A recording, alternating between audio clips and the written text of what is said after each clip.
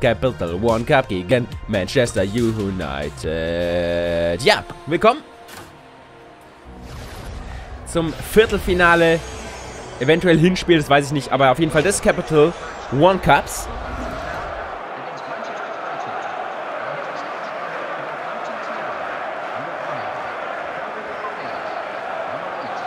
Durchatmen, bisschen die Atmosphäre in sich aufsaugen, deswegen war ich auch kurz ruhig. Und los geht. Das ist das letzte Spiel vor diesem, äh, vor diesem Pokal. Viertelfinale. War ja das Northamptoner Spiel gegen Liverpool. Und das. Also ich habe es letztes Mal schon gesagt, man hat sich als Northampton keinen Gefallen damit getan, so spät den Ausgleich zu kassieren. Und danach, ja, und danach so unglaublich nervös und unfähig zu sein, ja, dann nicht mal noch eine Chance rauszuspielen. Also man hatte Chancen auf eine Chance, aber man hat diese Chance auf eine Chance nicht genutzt. Das ist paradox, aber es ist so. Wie die Vorform von wohin genau ist so, ja. Aber man kann es halt einfach nicht abschreiten. Ja, es ist natürlich auch ein Stück weit äh, Selbstvertrauen, was da verloren geht, wenn man ein Spiel so lange eigentlich fest in der Hand hat. Mehr oder weniger fest, also. Ne, und dann. Und, und dann völlig unnötig aus dem Nichts so ein Ding kassiert. Das, das, das können die Großen halt, ja. Erfahrung ausspielen, ja, abwarten den richtigen Moment, eine Chance und dann ist hier Ende Gelände. Schicht im Schacht das hat Northampton halt, also vielleicht haben sie es kommen sehen, aber sie haben halt nicht, nicht gezeigt, dass sie wirklich reagieren darauf.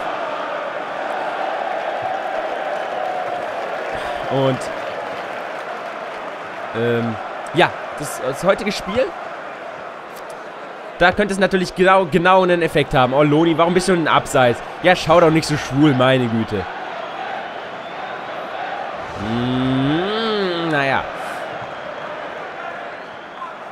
Und wo war ich gerade? Achso, ja, ob das aufs heutige Spiel einen Einfluss hat. Ich glaube schon, denn Menu hat bisher den besseren Start erwischt. So ehrlich muss man sein. Aber Loni aus dem Nichts. Und das kann Loni nämlich auch aus dem Nichts einfach da sein. Er schießt drauf und es steht 1-0. Ja. Bingo, Camingo oder was? So sieht's nämlich aus, Mutterficker. Oh. Ein Fehler. Loni ist da schön den Ball mit einer Drehung, mit Efe. Ins Tor, 14 Minuten. Und im Spiel gerade war es auch so. Und naja, wir wissen ja alle, was nach 85 Minuten dann bei Liverpool passiert ist. Nachdem sich, ich glaube damals, äh, oder was heißt damals, bei dem Spiel waren es glaube ich 12 Minuten, die Jedro gebraucht hat. Oh, Donovan! Ja, was ist hier denn los? Oh, Donovan! Pfosten! Und das ist... Ich würde jetzt froh sein, dass überhaupt so eine Chance rauskam. Ich bin es aber nicht, denn Northampton hatte auch im letzten Spiel die ganzen Chancen, haben sie nicht genutzt und haben die Quittung dafür bekommen. Also Northampton hat dann so viele gute Chancen rausgespielt, bevor es 1-1 gefallen ist. Sie haben sie aber nicht genutzt und das war das Problem. Und deswegen ist es auch 1-1 ausgegangen. Deswegen hat dieser Gegentreffer so viel ausgemacht. Das muss heute unterbunden werden. Jedro. Jedro. Lupfer. Weltklasse!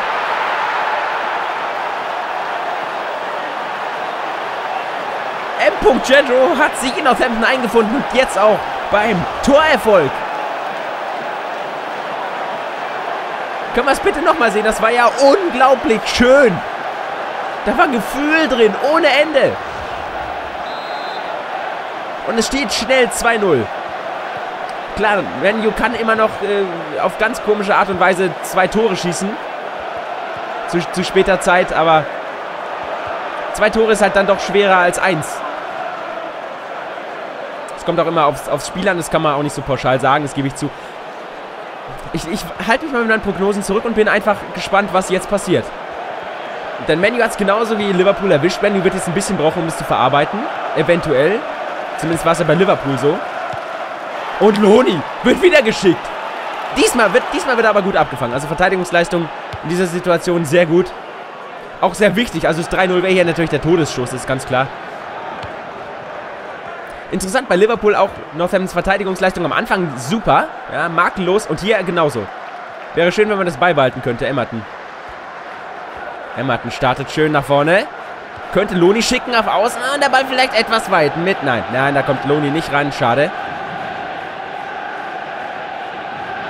Und Ball zurück, Loni. Büttner. Loni versucht dran zu gehen. Die Grätsche natürlich zeugt von Einsatz. Und das ist, das ist heute natürlich, äh, beziehungsweise eigentlich immer ein wichtiger Faktor, Einsatz zu zeigen. Das macht es natürlich immer äh, mal mehr, mal weniger einfach, Spiele zu gewinnen. wer motiviertes Einsatz zeigt, Engagement zeigt. Aber da erzähle ich ja auch nichts Neues, Loni, über die Außen. Ja, Flanke kommt rein und Donovan erstmal nicht, aber Tosa auf Jedro. Ach, schade. Das war jetzt ein bisschen Pech, aber da standen wirklich zwei Gegenspieler ganz nah bei ihm. Schwer, da wirklich rauszufinden aus dieser Situation. Donovan, Loni. Wieder gut, gut verteidigt. Tosa, Loni ab nach vorne, O'Donovan. Ja, wenn keiner mitgeht, ist halt scheiße.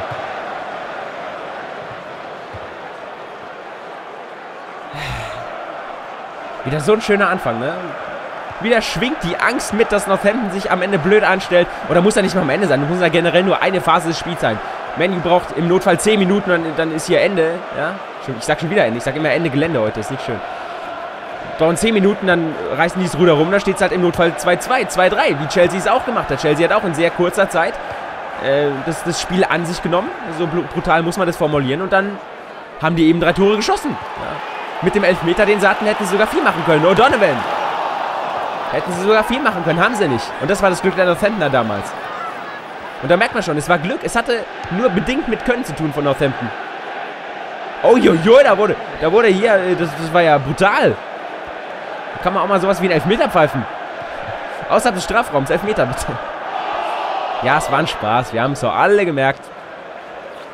Außer vielleicht ich selber, man weiß es nicht. Tosa. Red Dingens Carmona. Carmona und Tosa. Will jetzt sowas ähnliches wie einen Seitenwechsel machen und Jedro. Artistisch, akrobatisch, schön. Und Einwurf. Die Halbzeit drückt immer näher. Also Menu wird vor der Halbzeit nicht mehr groß äh, oder nicht mehr, nicht mehr viel ausrichten können wahrscheinlich. Außerdem spielt jetzt auch so ein bisschen auf Zeit mit diesem Wurf hinter, ganz klar. Loni kriegt nochmal die Chance. Und er haut drauf. Und das war ein guter Versuch. O'Donovan. Tosa. Tosa. Schön. Pünktlich zur Halbzeit nochmal einen rausgehauen. Und das hinterlässt, oder es wird Spuren beim Menu hinterlassen in Halbzeit 2, da bin ich mir ziemlich sicher. Also, ich möchte nicht in der Haut der heutigen äh, Gäste stecken. Übrigens, was mir aufgefallen ist, die normalen Capital One Cup Spiele. Emmerton. Emmerton schickt. Ah, schade, nicht Looney. Ähm, die normalen Capital One Cup Spiele, als Northampton noch niederklassiger war, ging es immer gegen Gurken und jetzt Liverpool, Menu und was weiß ich wer noch. Also, der Picoda hat es aber, glaube ich, schon mal gesagt dass der Capital One Cup sich in so eine, so eine schwache und so eine starke Hälfte aufteilt. Und Northam war bisher immer in der schwachen, weil sie eben unterklassig waren und dann jetzt in die hoi, hoi, weg. Und jetzt in der durch Liga 1 in der starken Hälfte sind und dann eben auch bombige Gegner bekommen. Weil wenn das stimmt, was der Picoda gesagt hat und das bestätigt sich hier experimentell, dann ne, könnte das genau das sein. Noni erstmal 20 Meter. Aber gut gesehen, die Verteidigung wäre da sonst da gewesen. Gut, man hätte eine Finte an ihm vorbei machen können, aber das ist jemand von hinten angerauscht. Also, das war schwer.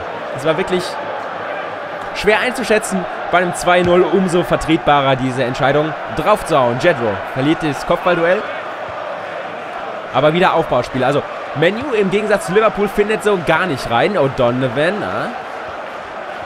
Menu findet so gar nicht rein in dieses Spiel. Gut, Liverpool hat für 10 Minuten in Halbzeit 1 mal geschafft, aber nicht, nicht mal das hat Menu hinbekommen. 2-0 ist auch anders als 1-0 hinten zu liegen. Naja. General wieder ausgewechselt. Ich verstehe es nicht. Warum wird General immer ausgewechselt zur Halbzeit oder kurz danach? Deegan kommt. Ich meine, haben haben so ein Überangebot an heftigen Mittelfeldspielern? Ich glaube ja, nein. Also bestimmt nicht so heftig, dass es sich lohnt, Jedro auszuwechseln. Morris. Loni, super gesehen. Super schön die Lücke ausgeguckt, muss man ja sagen. Der Pass war sehr traurig. Und jetzt können sie in die andere Richtung gehen. Unaufmerksam einmal. Nein, Widow Sinister. Widow Sinister. Läuft voll in den Gegenspieler rein. Das ist passiert. Lindegard, den Namen habe ich noch nie gehört. Lohni wird ausgewechselt. 2-0. Okay, ja, kann man machen. Wenn es kein Rückspiel gibt. Okay, wenn es ein Rückspiel gibt, naja, dann so. Kann man es irgendwo verstehen, aber ich hätte es nicht gemacht. Ne, aber was ich gemacht hätte und so, das wissen wir auch schon seit bestimmt 150 Folgen. Das hat ja nichts damit zu tun, was der Trainer möchte. Das gibt keinen Elfmeter. Und da vorne ist jetzt jemand gestartet, aber erstmal ohne Konsequenzen, weil der Ball nicht schnell genug nach vorne gespielt wird. Und Donovan Mojo versuchen sich beide jetzt als Sturmduo für die letzten 25 Minuten. Und Gary Deegan. Glück, dass diese Grätsche nicht sitzt. Und, und,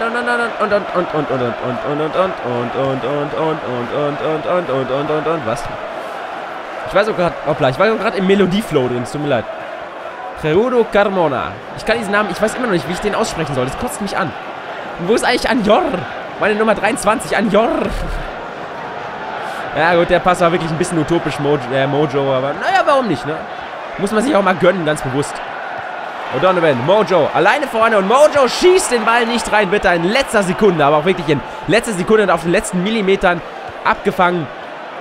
Und somit der brandgefährliche Schuss, 16 Meter alleine vom Tor, vereitelt.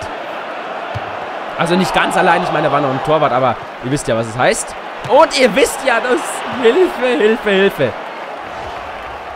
Genau sowas jetzt vielleicht nicht machen, BB.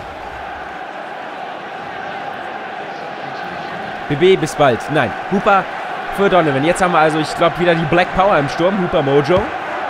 Die auch schon einige Male für kuriose Aktionen und kuriose Tore auch gesorgt hat. Man darf also gespannt sein. Direkter Pass auf Mojo. Wie gut es war, weiß ich nicht. Da hätte man vielleicht noch ein paar Schritte gehen können aus Mojo-Sicht, äh, aus äh, Dingens Sicht, aus äh, Morris Sicht, weil Mojo nicht frei war. MM, da musste er erstmal auseinanderhalten können, Morris Mojo. Weißt du, beide fangen mit MO an, was geht? Tosa, ab nach vorne, viel zu weit, viel zu weit und Lindegard lächelt einmal müde. Und hat das Ding. Wenn er jetzt, genau, jetzt muss er weit wegschlagen, weil Menu, wenn sie noch was reißen wollen, die müssen jetzt, müssen jetzt anziehen. Ja, das ist ganz klar. Carmona. Carmona erstmal schlecht verteidigt und dann haben, hat er es nicht besser gemacht danach. Glück gehabt. Auch wenn Leng mit sich dann nochmal an den Schädel schießen lässt. Kagawa geht, Van Persie kommt. Nochmal den Schädel schießen lässt, der Ball ist im Aus. Jetzt, genau, jetzt, jetzt, jetzt Lengmiet. Lengmiet die Gurke. Hätte ich Leon lang weggeschossen oder gut, gut kurz gespielt. Das war blind nicht nachgedacht und dann selber schuld, wenn er jetzt reingegangen wäre. Aber gut, dass ich schnell, so schnell reagiert habe. Oder dass Langley so schnell reagiert hat, je nachdem, wie man sehen möchte. Tosa. Die Fans werden noch mal ein bisschen lauter.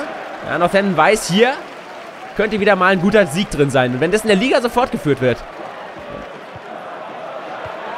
dann sind da sehr, sehr gute Chancen, ähm, nach, nach der Winterpause nicht abzusacken. Und diese Chancen braucht man natürlich auch, ganz klar. Widowson. Die Chancen braucht man natürlich auch. Morris, Mojo. Mojo schön vorbeigelegt. Mojo schön vorbeigelegt. Technisch sehr gut. Schnell weg. Das kurze Eck genommen. Der Keeper war natürlich da, ganz klar. Und, na, warum eigentlich nicht? Mojo kann gleich reintreten. Superstar, Black Power im Sturm. Doppel 3-0! Black Power, Black Mamba, Junge. Ganz ehrlich. Sehr geil. Super geil. Ist halt wirklich so. Das sage ich noch, Black Power sticht zu und dann tut es einfach. Menu hat, war im Kopf wahrscheinlich schon raus, hat gedacht 2-0, 2 Minuten. Es wird eigentlich, es wird faktisch nicht mehr machbar.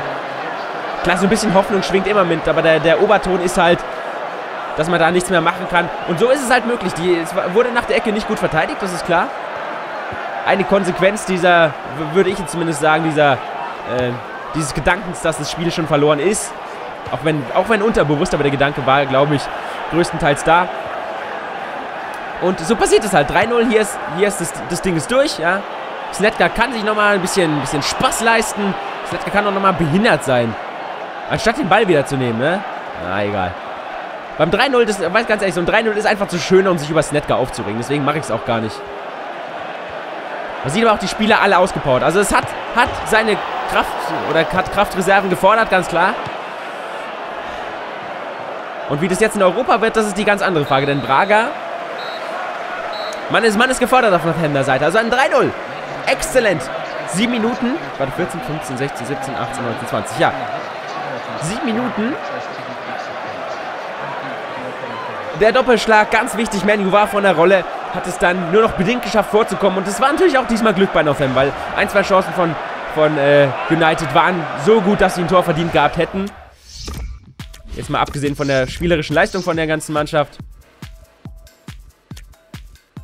Und genau, das war auch ein Stück weit glücklicher Sieg, muss man ehrlich sein. Geänderter Spieltermin, ja, ja, sehr interessant. Nein, ich wollte nicht speichern, ich wollte Y drücken. Jetzt X und löschen. Dann schauen wir mal. Northam Braga. Oh, es ist das Nachbarschaftsduell. Heißt, jetzt müssen wir raushauen, ja. Das ist ganz klar. Northampton muss klöppeln. Unentschieden mindestens. Also unentschieden ist das absolute Minimum. Ein Sieg wäre aber eigentlich natürlich optimal. Dann ist man sicher hier durch. Und bis zum nächsten Mal. Mein Name ist T. Loni. Vielen Dank fürs Dabeisein.